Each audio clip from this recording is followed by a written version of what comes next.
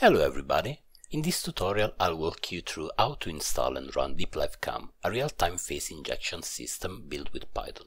It uses a single image to project a synthetic identity onto a live video feed.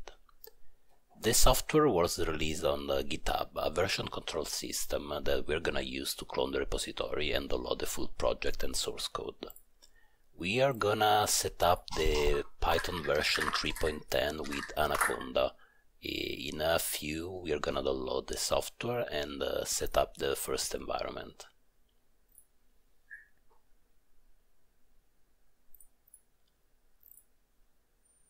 So I'm downloading the Windows version. Don't worry about the 3.12 or what other version is gonna show at the time you watch this video because uh, with the command prompt we are gonna install the right version in the in an isolated environment so we can avoid uh, system conflicts or dependency clash.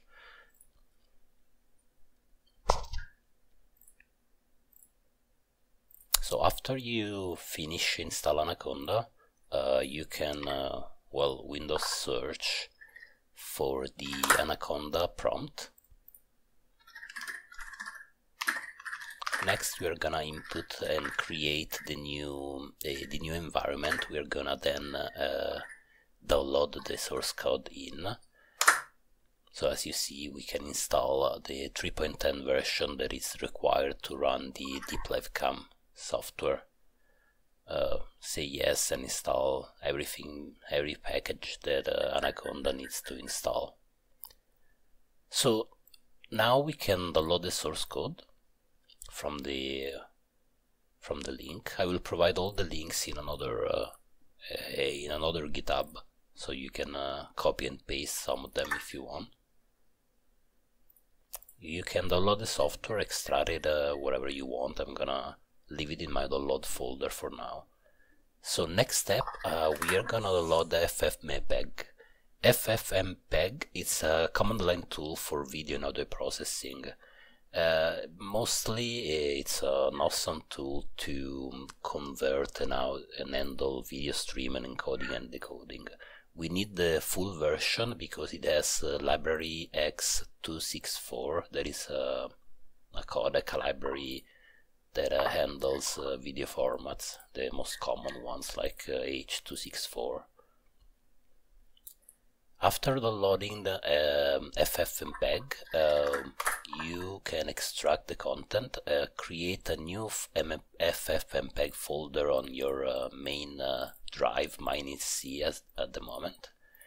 Then you can uh, open the bin folder and uh, just move the files into the new FM, FFmpeg folder.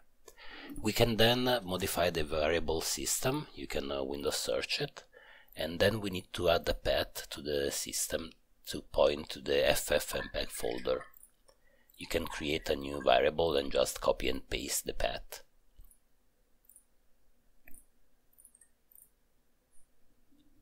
After FFmpeg, we are gonna download the Visual Studio uh, runtimes for Windows.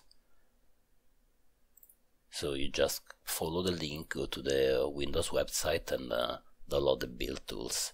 Those are uh, system level C++ libraries uh, that uh, we need to compile and, and build some uh, Python packages. I'm not gonna go too in depth in the, in the technology used. After installing the visual tools, uh, we can download the models. Those are um, uh, mostly face detection model or injection models with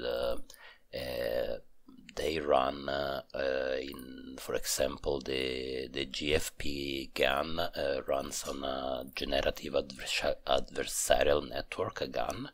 there is a class of machine learning frameworks.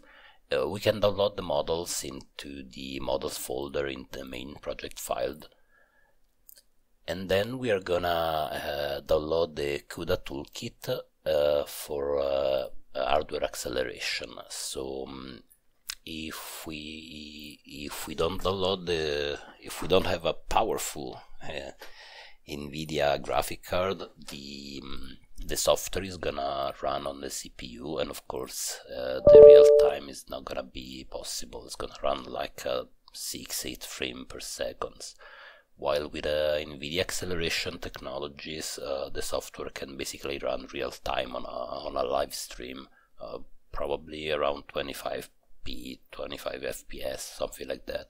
Of course, it depends on how powerful your uh, graphic NVIDIA graphic card is. Uh, once we have installed the CUDA, I think it's time we can uh, um, activate uh, our environment. I, we can use this command to see which environment we have available. Then we can activate our uh, Deep Live Cam environment.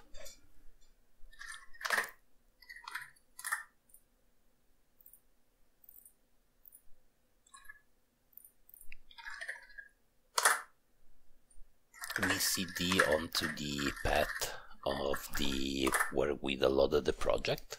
And then we need to install all the requirements for the project.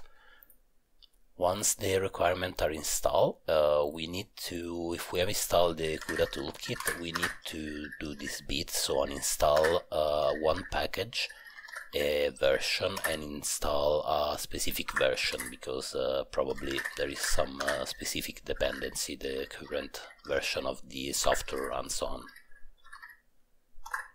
So we install the the current version with uh, with pip. There is a python package installer.